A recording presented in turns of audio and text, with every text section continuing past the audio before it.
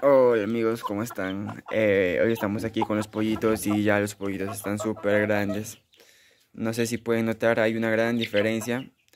Eh, bueno, se diría que hay bastante diferencia, ¿no? Vamos a acercarnos un poquito más. Eh, aquí ya prácticamente se puede distinguir cuáles son gallitos y cuáles son hembritas, ¿no? Ya hay varios, este, nosotros nos habíamos confundido. Se recuerdan que yo les dije que más de la mitad son gallos y pues casi la mitad son gallos y la mitad son hembritas, ¿no? Eh, aquí nomás se pueden dar cuenta. Eh, esta, es gallinita, ¿sí amigos? ¿Ustedes qué opinan? A ver. O es gallita. Tiene la pinta de gallo y de gallinita también. El de aquí el de aquí. Este que está apuntando. A ver ustedes qué dicen en los comentarios. Yo le veo como gallina, ¿no? Anteriormente le miraba como gallo, pero no sé.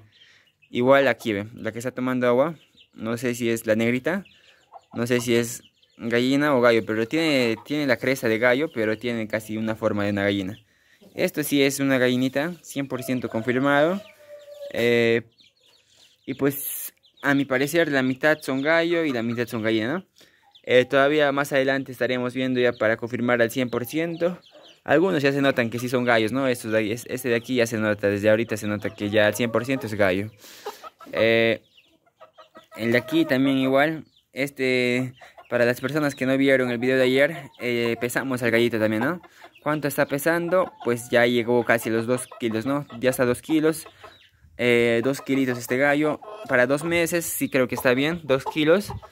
Eh, vamos a darle un poquito más de su alimento. el maíz, para ellos no comen. se han acostumbrado a comer nada más esto. Pero tienen que aprender a comer también maíz, ¿no? Ahí, si se dan cuenta, si ustedes se dan cuenta, el maíz está botado ahí. Y esto yo los boto acá. Y eso sí comen, ¿ves? Pero el maíz no comen.